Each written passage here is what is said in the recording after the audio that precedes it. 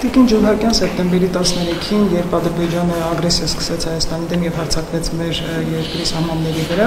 անմիջապես դրանից հետո մեր երկրի ընդդիմությունը սկսեց հարավակներ անել, փողոցներ փակել եւ կոտրել փորձելով կոտրել ազգային ժողովի դարպասները եւ պահանջել վարչապետի հրաժարական։ Ես կխնդրեմ ձեր մեկնաբանությունը։ Իրականում այստեղ մեկնաբանելու շատ բան կարծում եմ չկա եւ հանրությունն ինքն էլ ականատես է լինում մեր փառապանց ընդդիմության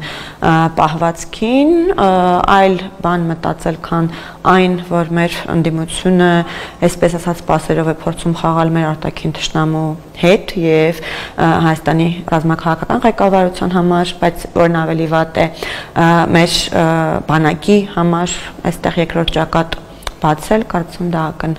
ակնհայտ է եւ անզեն աչքով է դա երևում։ Ինչ վերաբերում է դրան գնահատական, ես կարծեմ հանրությունը պետք է գնահատի եւ հանրությունը գնահատում է եւ մենք տեսնում ենք ինչպիսի քննադատական խոսքով է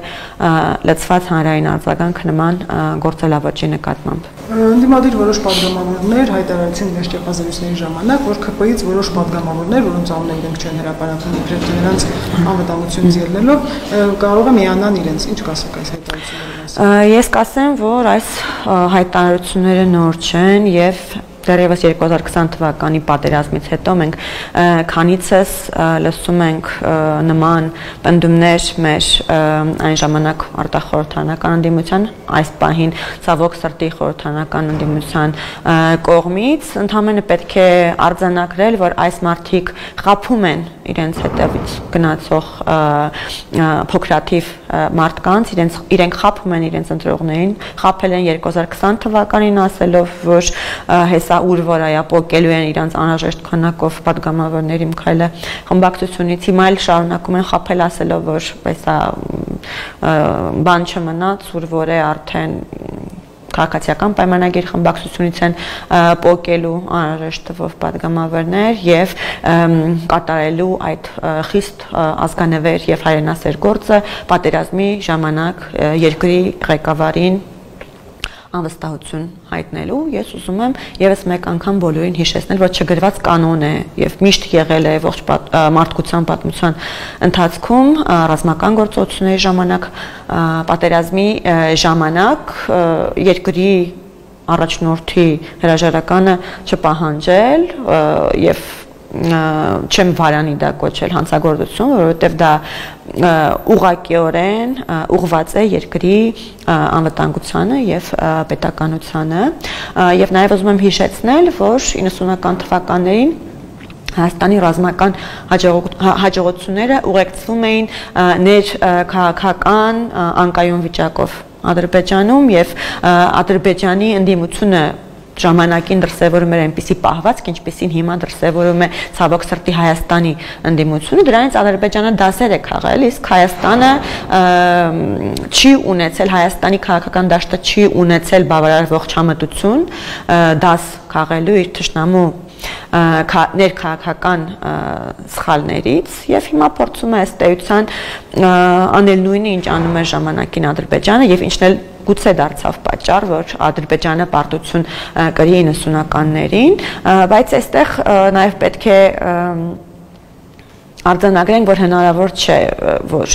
սա չգիտակցված լինի մեր ընդդիմադիր գործիչների կողմից, որովհետև շատ տրիվիալ հարց է եւ չգիտակցել հնարավոր չէ եւ մնում է ընդամենը եզրակացնել, որ մեր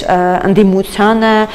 չի հետաքրքրում Հայաստանի անվտանգությունը, չի հետաքրքրում Հայաստանի հաղթանակը եւ Հայաստանի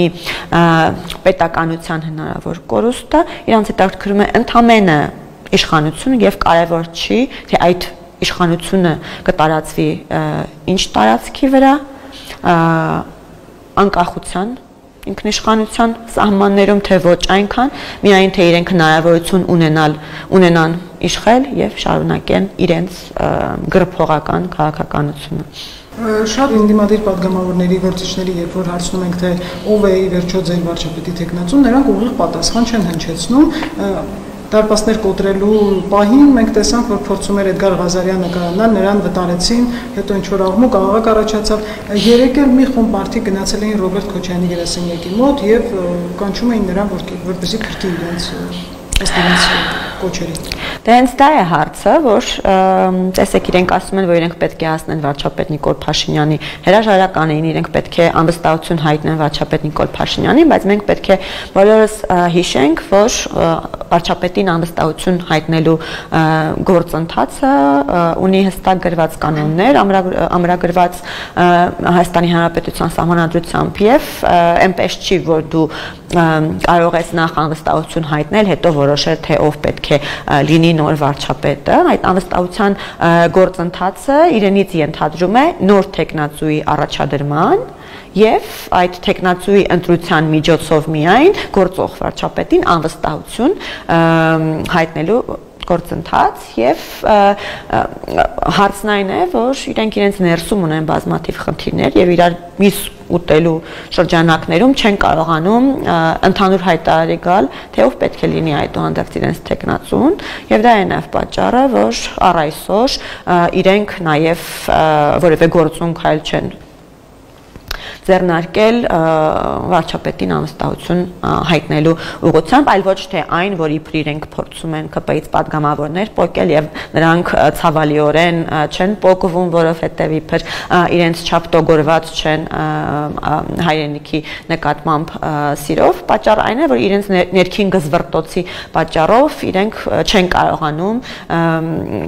ընտրել մեկ միասնական տեխնացու, այնտեղ բազմաթիվ ճամբարներ կան։ Մի ճամբարը շատ ուզում է, որ այդ տեխնացուն լինի Ռոբերտ Քոչարյանը, մյուս ճամբարը բնականաբար Սերժ Սարգսյանի կողմնակից է, բայց այնքան խելք ունի, որ հասկանում է, որ Սերժ Սարգսյանը 2018 թվականի հեղափոխության ժամանակ այնպիսի անփառունակ ձևով հեռացվեց իշխանությունից, որ շանս չունի հիմա որևէ կոնսոլիդացիա ձևավորել իր շուրջ եւ փորձում են իբր այսպես ասած մաքուր եւ իբր պրոֆեսիոնալ եւ ամբից եւ անարատ այլ տեխնացու ներկայացնել իդեմս Էդգար Ղազարյանի իհարկե չեմ հասկանում թե ինչու է նա ամբից եւ անարատ, որովհետեւ բոլորս հիշում ենք թե ով է եղել Էդգար Ղազարյանը եւ ով է շարունակում լինել ինչեւ է նաեւ այլ տեխնացուներ են քննարկվում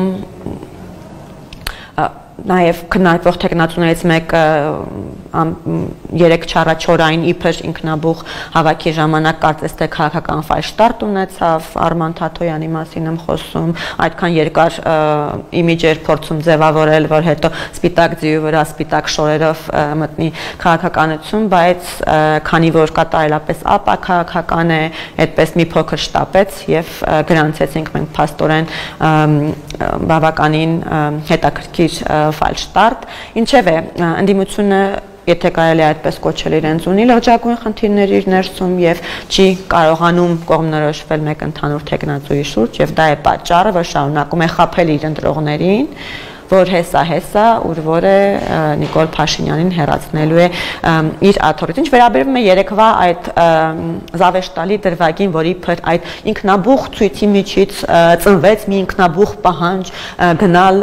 Ռոբերտ Քոչանի տուն եւ խնդրել գալ եւ փրկել, ես կարծում եմ բավականին զավեշտալի սցենար է եւ դա մեր հանրության շրջանում միայն ծիծաղ է առաջացնում, որևէ մեկը հույս չի բոլորը գիտեն ով է Ռոբերտ Քոչյանը եւ որևէ մեկը չի կարող հույս կապել նրա հետ որ նա առհասարակ ունակ է որևէ բան փրկել բացի իր թալանածը փրկելուց Խոսենք նաև արտաքին քաղաքականությունից։ Երեք հայտարարություն տարածվեց, որ Հայաստանը այցելելու Նենսի Փելոսին։ Ինչ ակնկալել այդ այցից։ Ես կարծում եմ, որ սա շատ կարևոր բավականին կարևոր այց է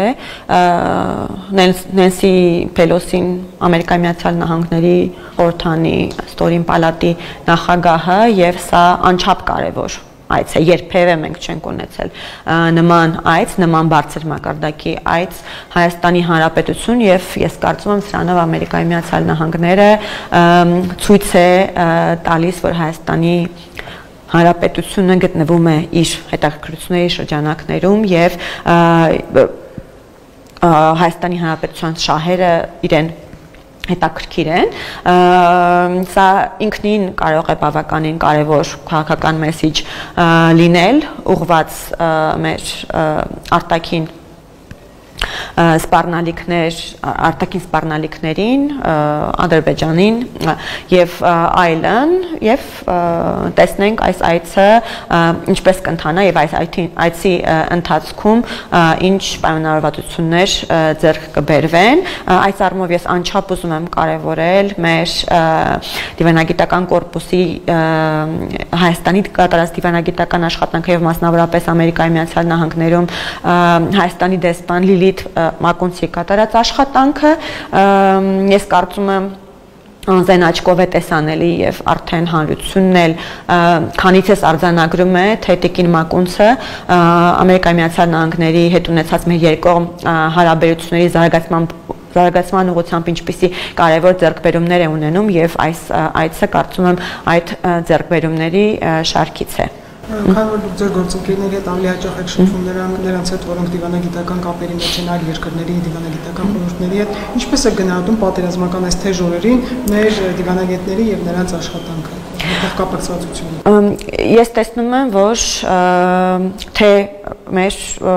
արտաքին հարաբերությունների գերատեսչությունը, մասնավորապես արտաքին գործերի նախարարությունը, եւ թե նաեւ պետք է շեշտեմ խորհրդանական դիվանագիտության կարեւորությունը այս հարցում, մենք բավականին ակտիվ ենք աշխատում մեր միջազգային գործընկերներին տեղեկացնելու եւ նրանց կողմից հասցեական արձագանքներ ուղված Հայաստանի դեմ Ադրբեջանի ռազմական ագրեսիան դատապարտելուն ստանալու հարցում եւ մենք տեսնում ենք, որ տարբեր երկրներ, Ամերիկայի Միացյալ Նահանգները, Ֆրանսիան, Հնդկաստանը եւ նաեւ շատ այլ երկրներ, Իրանը, բազմաթիվ այլ բավականին կարևոր երկրներ, գերտերություններ, տարածաշրջանային լուրջ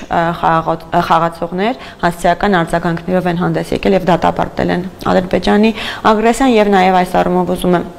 հիշեցնել երեք ՄԱԿ-ի անվտանգության խորհրդում Հայաստանի դիմումի հիման վրա կազմակերպված լսումները եւ այդ լսումների ժամանակ տարբեր երկրների արձագանքները ըստ էության այնտեղ կարելի ասել որ Ադրբեջանը միայնակ էր մնացել եւ բոլոր կողմերից կային հիմնականում կամ չեզոք չեզոք որևէ հայտարարություն, որոնք իրականում քիչ էին կամ հենց հասցեական դատապարտող հայտարարություններ եւ այս առումով անչափ կարեւորում եմ նորից Ֆրանսիայի արձագանքը, որը հստակ շեշտեց, որ սա ագրեսիա է Ադրբեջանի կողմից եւ նաեւ կոչեր անում ելման դիրքեր վերադառնալ որպես տարածքային ամբողջականության խախտում արձանագրեց Հայաստանի Հանրապետության սահմանների անձեռ մխելիության նկատմամբ կատարված Ադրբեջանի հարցակումները եւ սադրանքները Ամերիկայի Միացյալ Նահանգների արձագանքներ կրկին շատ կարեւոր եւ նաեւ մի շարք այլ երկրների ես պետք է այս առումով ասեմ որ այո մենք ջանք չենք խնայում միջազգային հանրությանը այս հարցի շուրջ մոբիլիզացնելու հարցում եւ ակնհայտ է որ միջազգային հանրությունը ունի կոնսենսուս այն հարցի շուրջ որ Ադրբեջանը հարցակվել է Հայաստանի սուվերեն տարածքի վրա եւ Ադրբեջանը նախ պետք է դադարեցնի այդ գործողությունները եւ ապա պետք է վերադառնա ելման դիրքեր այս արձանագրման կարևորությունը ես կարծում եմ քաղաքական է, սա քաղաքական նշանակություն ունի եւ այս քաղաքական նշանակությունը կարևոր է եւ այս քաղաքական կոմպոնենտը, այսպես ասած, շատ կարևոր է լինելու Հայաստանի կողմից Ադրբեջանի հետ բանակցությունների սեղան նստելու ժամանակ։ Այսօր այս մահին էլ ջերմուկում են գտնվում Հայաստանում հավատարմագրված դեսպանները, որոնք ԳՇՊՏ-ի հետ հանդիպեցին, իրենց ուզող հարցերը տվեցին, ռազմական հանցագործությունները ասել որ իրականացրել է Ադրբեջանը, սակայն մենք նրանց շարքում չտեսանք մեր թիվ 1 ռազմավարական գործընկեր դաշնակից Ռուսաստանի դեսպանը։ Տարօրինակ չէ սա դες։ Դե իրականում այո, տարօրինակ է, բայց նաև պետք է նշեմ, որ առաջին առաջին բանը չէ, որ տարօրինակ է այս առումով այո, մեր ռազմավարական դաշնակիցը թվում է թե փորձում է գրավարական կեցվածք դրսևորել Հայաստանի եւ Ադրբեջանի կոնֆլիկտի հետ կապված, դա իհարկե պայմանավորված է նրանով, որ ցավոք սրտի մեր ռազմավարական դաշնակիցը նաեւ դաշնակցում է մեր ճշնամու հետ եւ դա բնականաբար չի բխում մեր շահերից, բայց սա մի հանգամանք է, որը մենք պետք է ընդունենք իգիտություն։ Ես իհարկե շատ կուզեի մեր ռազմավարական դաշնակցից լսել սատարման այնպիսի խոսքեր, ինչպիսին օրինակ ես տեսնում եմ Ադրբեջանի մյուս ռազմավարական դաշնակցից Թուրքիայից հոգուտ Ադրբեջանի, որ ասում է, որ ինքը սատարում է Ադրբեջանին ամեն կերպ։ Ես շատ կուզեի, որ մեր ռազմավարական դաշնակիցը նույնպես այսպես խոսեր Հայաստանի մասին, բայց նորից եմ ասում, մենք պետք է գիտություն ընդունենք այն հանգամանքը, որ մեր ռազմավարական դաշնակից նաև դաշնակցում է մեր թշնամու հետ Երեք հայտարարություն տարածվեց, որ ՀԱՊ-ի ներկայացուցիչներն են այստեղ հանդիպել են Սուրեն Պապիկյանին, մինչդեռ նրանք հայտարարել էին, որ հաջորդ շաբաթ նոր կլինեն Հայաստանում։ Ինչով էր պայմանավորված նրանց այս արագ փոփոխությունը շտապել Հայաստան։ Չեմ կարող ասել, գուցե իրենք իրենց պատճառները ունեն, չեմ կարող գնահատել։ Համենայն դեպս այո, դուք ճիշտ եք, ասում էին, որ հաջորդ շաբաթ են գալու, գուցե հասկացել են, որ հաջորդ շաբաթ արդեն կարող է ուշ լինել եւ որոշել են այդուհանդերձ իրենց պատասխանատվության գոտում որոշակի գործողություններ ժամանակին կատարել եւ չլինել ուշացած։ Ըստ ձեզ աշտցյոք միջազգային ճնշումը կբավականացնի, որ